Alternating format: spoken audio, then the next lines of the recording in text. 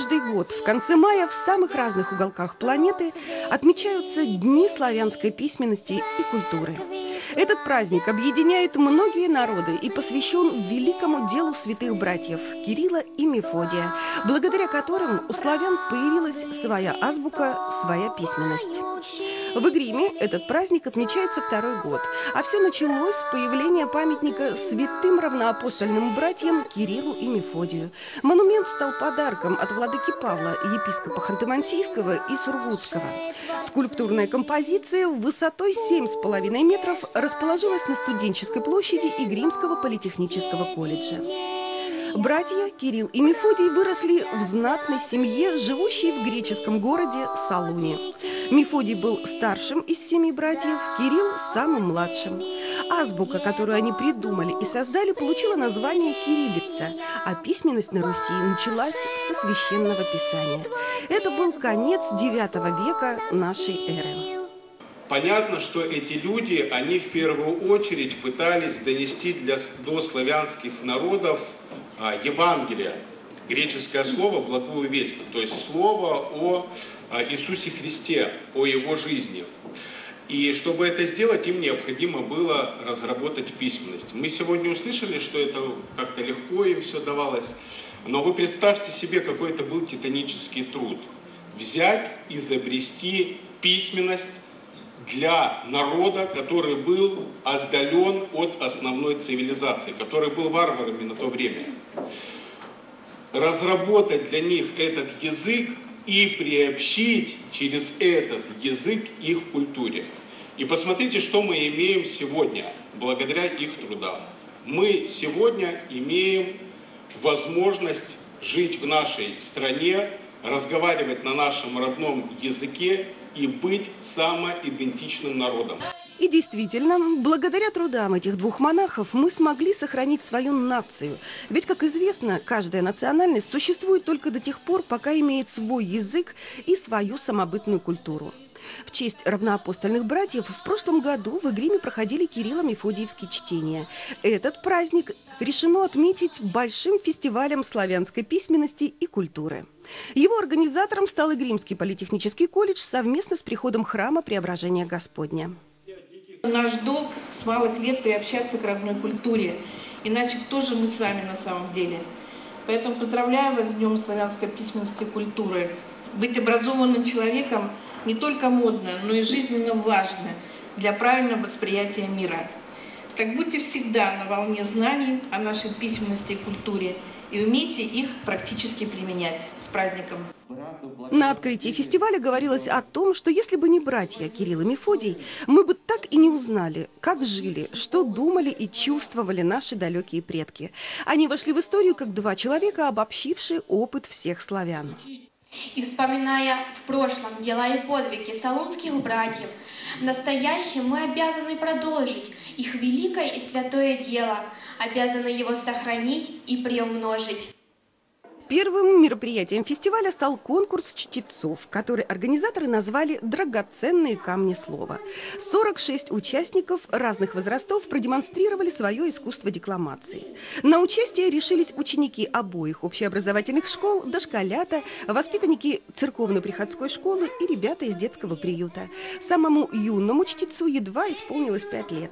Как и в прошлом году, большинство конкурсантов – это малыши до 10 лет. Им еще неведомы страхи и стеснения менее, они еще не боятся публики. Отвечал ему тихо Господь, «Не печалься, малыш, не грусти, ангел добрый, он будет с тобой, пока будешь мужать и расти. Будет он тебя нежить, качать, наклонясь колыбельные петь, будет крепко груди прижимать, будет крыльями бережно греть. Первый зуб, первый шаг видеть твой, и ладошкой слезинки стирать, а в болезни, склонясь над тобой, жар губами со лба убирать. И когда начинаешь взрослеть, ты дорогу отыщешь свою, Ангел будет во след лишь смотреть, повторяя молитву свою. Как же ангела имя скажи, как мне его средь тысячу знать? Это вовсе не важно, малыш, мамой ты будешь ангела звать. Не забыли юные чтецы и недавно отпразднованный День Победы. Моему прадеду посвящается. Сочинили бабушка и я. Скоро будет праздник, День Победы. Это знает каждый, стар и млад. В руку я возьму портрет прадеда, С ним пойду на праздничный парад. Своего я прадеда не видел, Умер он задолго до меня. Из портрета он слегка прищурясь, улыбаясь, смотрит на меня концертно-выставочном зале собрались группы поддержки в виде мам, пап, бабушек и даже дедушек. Также поддержать своих воспитанников пришли учителя и воспитатели. Волновались все, но казалось, что больше всех переживали родители. Юных конкурсантов, прямо как в знаменитой трилогии Льва Николаевича Толстого, условно разделили по трем возрастным номинациям – детство, отрочество, юность. И в каждой номинации строгое жюри определило своих победителей. А на следующий день колледж превратился в большой шумный город мастеров. Здесь проходили всевозможные мастер-классы исконно русских обычаев и ремесел. Сразу при входе в гостей встречала мастерская, где можно было попробовать себя в ткацком деле. Именно так в Древней Руси женщины плели ковры и ковровые дорожки. А ребята из школы искусств показали старинный обряд предсвадебного девишника. Это когда девушки собираются, собирают свою подругу выдать замуж, готовят ей приданное, пьют песни ей прощальные, то есть прощаются с молодостью, прощаются с девичеством. И вот вся вот это идет подготовка. Мы показали, то есть в виде вот именно э, славянских народов наших, что наши бабушки делали, это качество, это пояса придет. То есть пояс вообще он сопровождался в костюме всех наших народов очень много, о нем очень много говорится, и в жизни человека он большую роль несет, и поэтому мы решили это все показать на мастер-классе. В соседнем зале те, кто посмелее, смогли научиться настоящему русскому народному танцу.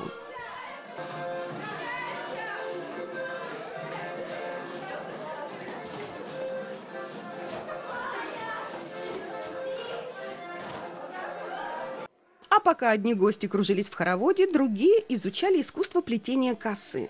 И, как выяснилось, это действительно целое искусство.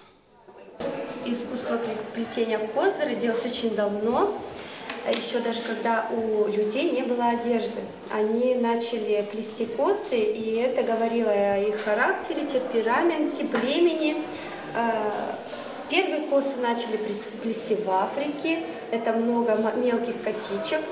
А на Руси э, особенной красотой э, и женственностью тоже являлась косичка. И, но до 12 лет девочкам не стригли волосы, потому что считалось, что э, малышки состригают ум, потому что они считали, что в волосах, в распущенных волосах э, человек накапливает тонкую энергию, а если у девочки была заплетена коса, что она собирает в себя все жизненные, все божественные силы. Еще в этот день можно было научиться декоративному рисованию, а также своими руками изготовить себе куколку счастья, которая издревле считалась сильным оберегом. Вот я сегодня засекала, да, я сделала за 20 минут эту куклу. Вот она ростом получается где-то 5-6 сантиметров. Она символизирует у нас счастье, она называется «Кукла на счастье». То есть стоит она у нас, опираясь на косу, а, и, в общем, приносит удачу. Одним словом, в этом городе мастеров каждый нашел себе занятие по душе. А кто-то, возможно, и всерьез увлечется славянским декоративно-прикладным творчеством. Мне ну, очень понравилось. Все было интересно. Тут говорилось о русской культуре. Э, ну, мне было интересно, как мы россияне, и мне интересна своя культура. Очень красиво поют исполнители, и такая некая возможность перенестись в прошлое. Мне понравилось. Мне тоже очень понравилось. Фестиваль славянской письменности и культуры продолжался в Игриме несколько дней. В течение недели проходили концерты, выставки. Вниманию жюри были представлены видеоролики и презентации. В рамках фестиваля был организован круглый стол, где участники обсудили очень важную и актуальную проблему – нравственное и духовное воспитание подрастающего поколения. В конференц-зале собрались учителя, воспитатели, специалисты социальных служб, представители правоохранительных органов. Обсудили широкий круг вопросов, особое внимание уделили образовательной программе «Истоки», которую представил настоятель Гримского прихода отец Евгений. В 2013 году перед рождественскими чтениями а, епископ, на тот момент епископ, сейчас уже митрополит Ханты-Мансийский и Сургутский, Владыка Павел, а, как раз таки сообщил нам об этой программе, ознакомил нас с этой программой а, и дал нам возможность понять, что это на сегодняшний день единственная, наверное, разработанная программа, которая объединяет усилия всех учебных заведений, дошкольных учебных заведений, средней школы, среднеспециальных учебных заведений и дополнительного образования, церкви и государства над одной стратегической задачей воспитания нашего подрастающего поколения. Вы знаете, я считаю, что такие мероприятия не то что своевременные, они просто очень необходимы. Не только для педагогического сообщества, но и прежде всего для родительского общества и для детского сообщества. Потому что ну, действительно в нашей стране назрела на сегодняшний день очень серьезная проблема э, духовности наших детей. Мы это видим, мы это понимаем. И мы собрались здесь сегодня для того, чтобы обсудить эту проблему и наметить, конечно, пути решения тех проблемных моментов, которые мы ощущаем, находясь в стенах наших образовательных организаций. Я хочу выразить огромную благодарность Тамаре Александровне за то, что она, во-первых, обозначила эту проблему, во-вторых, она собрала нас всех а, на базе Гримского колледжа а, для обсуждения этой проблемы. Ну и, конечно, мы хотим озвучить это на все сообщество Березовского района, родительское сообщество, общественность, что такая проблема есть и ее необходимо решать. Торжественное закрытие фестиваля, подведение итогов и награждение победителей состоялось в актовом зале Политехнического колледжа. Особая благодарность была высказана тем, кто оказался причастен к появлению в Игриме замечательного памятника Кириллу и Мефодию, который стал символом славянской истории и культуры. Как известно, все начинается с идеи. Так вот, идея установки этого скульптурного комплекса принадлежит настоятелю Игримского прихода отцу Евгению. Благодаря вашему душевному порыву стало возможно возрождение на нашей Игримской земле памятника славянской культуры. Выражаем вам искреннюю признательность за неравнодушное отношение к вопросам образования и воспитания подрастающего поколения – заинтересованность, желание и стремление участвовать в совершенствовании образовательного пространства.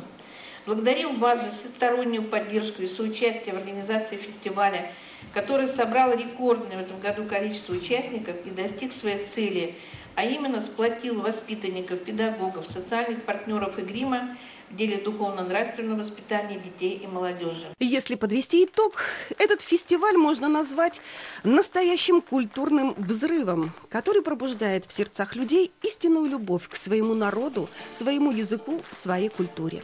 Сам по себе День славянской культуры призван объединить и сохранить то культурное наследие, которое досталось нам от наших предков. И это, безусловно, очень важно.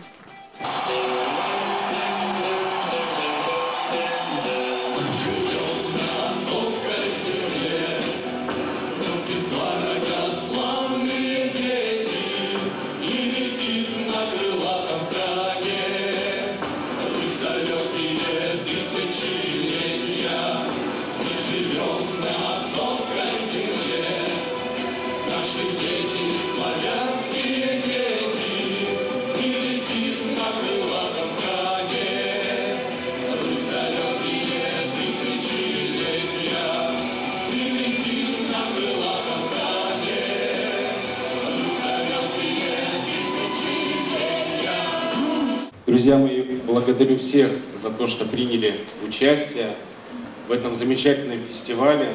Действительно, он прошел на таких достаточно теплых эмоциях.